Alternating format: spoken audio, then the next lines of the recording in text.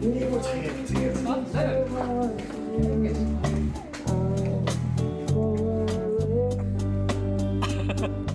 Ik ben Sarah Lee, ik ben zangeres en zangdocent hier op het eh, Sint-Vitus College. Wij zijn een eh, lerarencollectief, een stichting, de Nieuwe Muziekschool. En wij doen al vele jaren bandcoachingprojecten, maar nu hebben we dat in een andere vorm gegoten. ehm, zodat de leerlingen wat meer eh, en wat langer en wat meer kunnen oefenen met elkaar en echt wat meer een band vormen. Dus daar hebben we ontzettend zin in.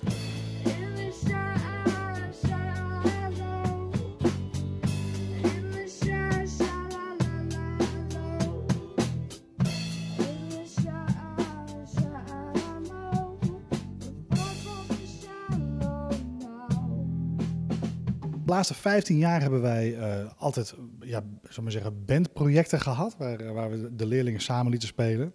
Maar dat was steeds voor een korte periode. En eh, we merken dat er steeds meer vraag naar is. Maar ook van kinderen buiten onze school die dan ons bellen. Zeggen van joh, is er iets van, zijn er bandlessen en dergelijke. En nu hebben we dat in een format gegoten waarbij ze dus een langere periode, zoals jij al zei, een langere periode onaangebroken bij één docent bandcoaching kunnen volgen.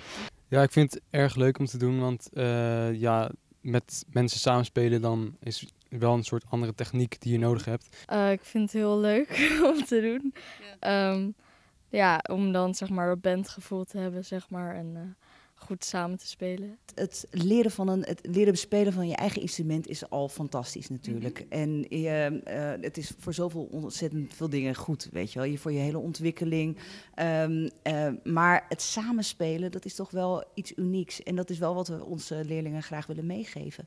Want je, je moet op elkaar letten, je moet naar elkaar luisteren, je moet leren communiceren. Je zelfvertrouwen bouw je op. Je um, algemene muzikale kennis wordt zo snel. Die, die kids maken zulke sprongen. Ja, het is wel leuk om natuurlijk in een band te spelen, omdat je echt op de ander ook moet eh, letten. En het is wel gewoon heel anders eigenlijk, omdat je dan echt, eh, als je gewoon muziek luistert op je telefoon, is het natuurlijk een beetje tweedimensionaal. Dus dan is het niet dat je echt kan focussen op de rest. Maar als je echt in zo'n band zit en echt omringd bent dus door de muziek, is het toch wel vet om ook echt gewoon een beetje op de rest te letten en wat zij doen en zo. En je een beetje aan te passen erop. En dat.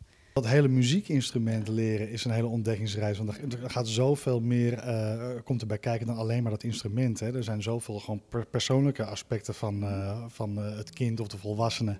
die aangesproken wordt op het moment dat ze zich moeten concentreren op een instrument. Hoe vind je dat om het hier in een band te doen? Ik vind het hartstikke leuk, want je bent natuurlijk het ritme op in een eh, band. En je moet ook letten dat je niet sneller gaat dan de ander of dat jij jouw ritme niet verandert, want anders eh, dan gaat natuurlijk, loopt alles in de soep. Eerst deden ze de Wenkjesprojecten altijd zonder cello's. Maar nu sinds een paar maanden ja, hebben ze die gewoon in dit soort liedjes erbij gedaan. Dat gaat eigenlijk prima. Wat leuk, mag je er ook lekker bij? Ja, precies. Ja, ja want ik speel zelf al in een orkest. Maar dit is, ik vind het wel leuker, want nu speel je gewoon met twee en dan ben je ook wat beter hoorbaar en zo. Nou gaan ze natuurlijk een periode met elkaar eh, oefenen, hè? hier in deze kelder. Hebben ze dan ook een moment dat ze met elkaar gaan optreden? Ja, natuurlijk. Daar werken we altijd naartoe.